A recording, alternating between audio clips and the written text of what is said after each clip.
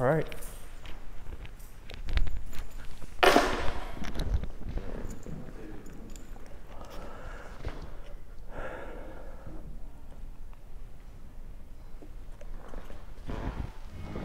This is that once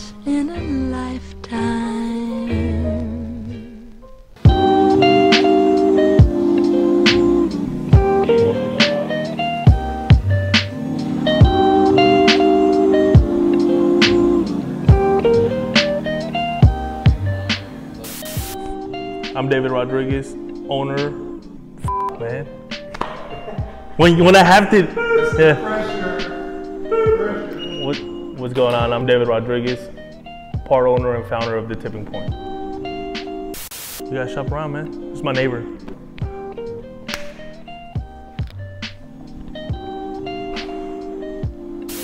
Define tipping point. Damn. A tipping point is the point where something, it's where, that's like a really hard question.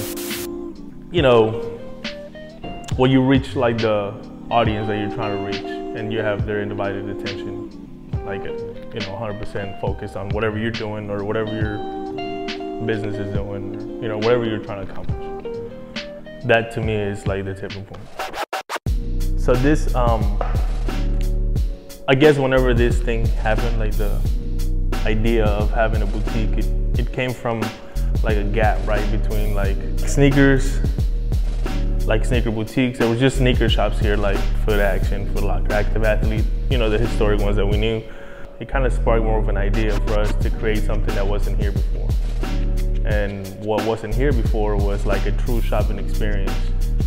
I mean, like from the design of the store to whatever, you know, cakes we had at the store. Um, and he kind of made it more clear to, to me and my partners to see like, okay, this is, there's nothing like this here, right? Like you go to LA or New York and there's always like all these shops. Um, and so, you know, just kind of grew like it was like a snowball effect. Me and the, the guys were really fixated in downtown because the historic side of it and that nobody had opened anything in downtown Houston like soft goods like this in like 55 years. I'm from Mexico City, so the punk scene was like really popping.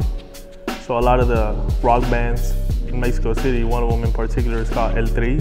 The guy, the lead singer, his name is Alex Lora.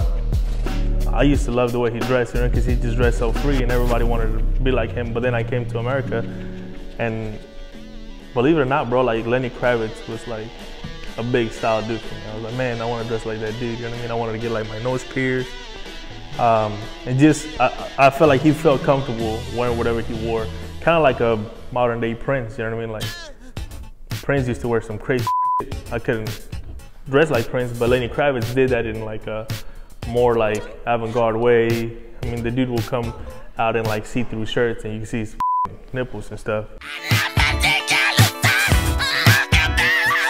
And he felt comfortable in that, you know what I mean? Like, I was like, yo, that, that guy's cool.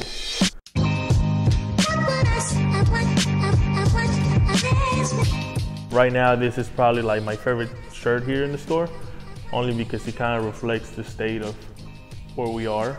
I think us, like younger people, we kind of are at that point right now. Like, I'm so bored right now uh, without this nonsense that's going on, you know. Style is like super important for me because style you can make it your own. That's what style means. Like having your own flavor, your own thing that you're known for amongst your friends or whatever group of people. Uh, it's very important for me. The whole point of me opening the store is to give confidence to kids that don't have that confidence because of their parents or their background or their, you know, their own psyche, right? Like some of us just grow up thinking that we're not good enough because our parents tell us you can't do this. And, you, like in Latin culture, it's very prominent where your parents sometimes they're the ones that tell you you can't do this, you can't do that, you can't do this, versus telling you you can, you can, you can. So this is just like a saying like, yo, you can. You know, I'm an immigrant kid.